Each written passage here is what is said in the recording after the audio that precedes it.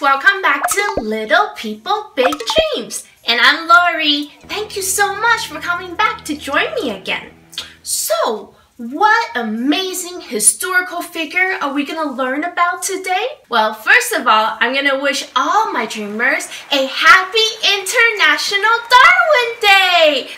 Woo! Woo! Well, today is a holiday that especially celebrates the naturalist and geologist Charles Darwin. Mm-hmm. And it's a very important day to bring together and celebrate all the contribution Darwin has brought to science for us.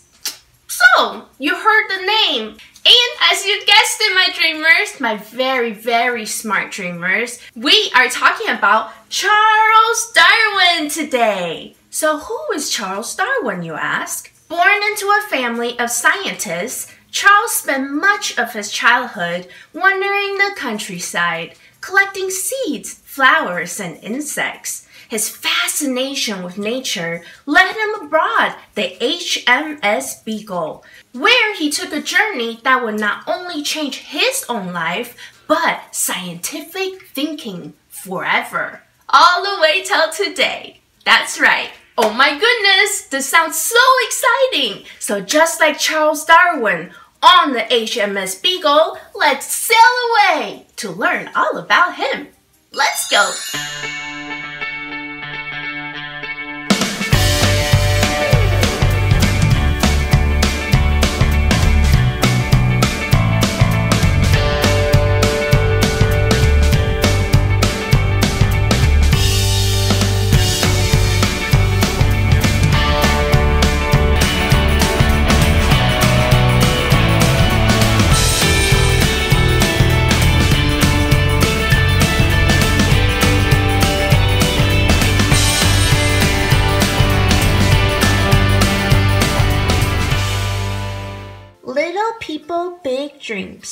Charles Darwin.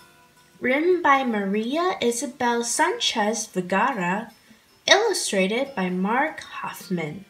Little Charles lived with his family in Shrewsbury, England, at a time when people didn't know much about the secret life of nature. Had worms always crawled on the ground? He wanted to find out. Yes, little Charles was a very, very curious child. Look at the little worm. Hmm, had they always crawled on the ground? Well, let's go see what he found out. Back then, many teachers told their students that animals and plants had appeared on Earth all at once, in the blink of an eye. Could this be possible? Hmm, Somehow, Charles was not very convinced by his teacher. Look at little Charles. He's thinking what his teacher was telling him was maybe just a little bit different than what he had thought. Questioning things was a natural for the Darwins. They were a family of scientists who thought outside of the box. Charles' grandfather was a well known plant expert, and his father was a doctor who hoped his son might follow in his footsteps. Look, we have a portrait of Charles' grandfather, who was a well known plant expert. And on the other side, we have Charles' father, who was a doctor who hoped that little Charles will become a doctor too. Hmm, well, we'll see if little Charles wanted to become a doctor as well. Let's go see. Charles entered medical school, but he couldn't stand the sight of blood. Oh, oh no, he didn't like blood at all. So he switched subjects and continued to read and learn all about plants, animals, and nature. Oh, look at poor Charles in medical school. He fainted from looking at blood. I think many of you do not like to look at blood at all, so you are not alone. And little Charles, you see over here? It's okay. He still loved nature. He still loved insects and little animals. So he went on to study what nature was all about. One day, he received an invitation to join a scientific expedition to the coast of Africa, South America, and Australia. The HMS Beagle left port during Christmas in 1831. It was a chance for Charles to see the world and finally study new species. Oh my goodness! Look at this sight! All the people saying goodbye to Charles, who's no longer little, but he's on an expedition for science to look and study different species. Let's see what happens next.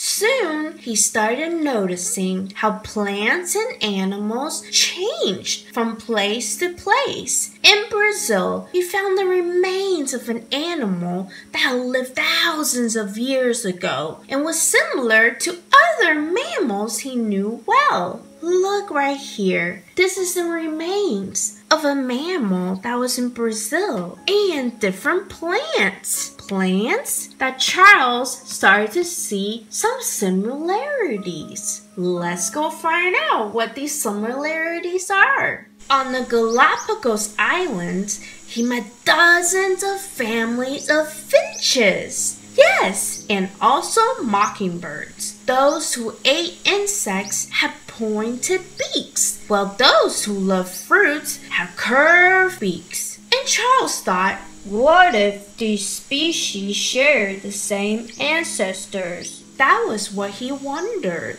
Interesting. Look at all the different species that he was studying all over Galapagos Islands. What do you think? Let's go see. And after five years traveling the world, Charles began to realize that plant and animal species were not fixed as everyone thought, he formed the idea that they had slowly changed to adapt to the place in which they lived. Oh my goodness, what a discovery that Charles had made! And when Charles was 28 years old, well, he penned one of the most shocking ideas of his time. You know what that was? Is that one species changes into another. It was the first step to put down on paper a revolutionary theory that explained how life on Earth works. Oh my goodness. Look at Charles. He did not come up with this idea just right on the spot. No, he worked so hard on observing all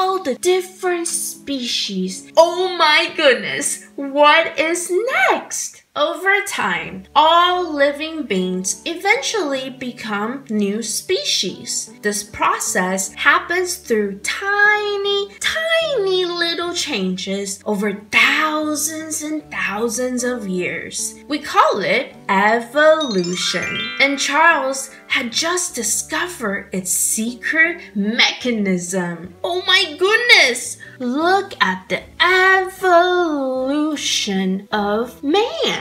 Charles Darwin, he has done it. He has explained it. How wonderful and how smart and how daring. Charles' discovery was called natural selection. Nature rewards those that adapt best to their environment. The fastest rabbit, the smartest fox, or the owl with the best eyesight would survive in the wild and live to make many more animals like them. Charles Darwin, after years and years of observation and testing, he had discovered whoever had the best traits to survival would survive. That's it. If they can adapt to the environment that they are in, they will survive. And that's what we call survival of the fittest.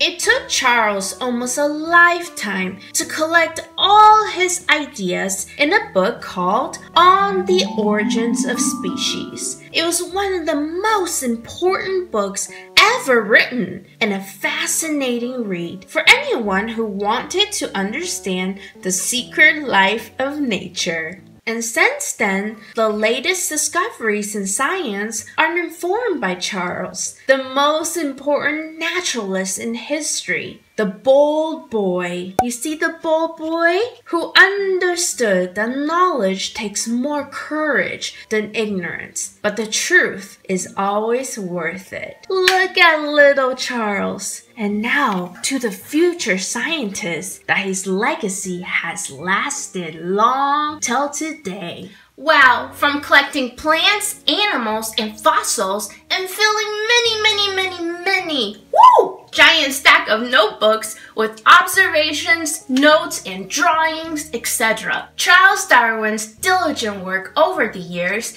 give us all a very great insight into the diversity of life on Earth and its origins, and also us as a species as well. What an inspirational and amazing naturalist, isn't he? From the curious little boy he was to discovering the secret life of nature. That's right. Knowledge takes more courage than ignorance. And little Charles knew that from when he was very little all the way till now. But you know what? He also knew that getting to the bottom of the truth was well worth it. So thank you so much to little Charles' dream of figuring out just how evolution worked. So that's why Charles Darwin is one of the most iconic, inspirational, and amazing scientists overall in history. Okay, my dreamers, dream on.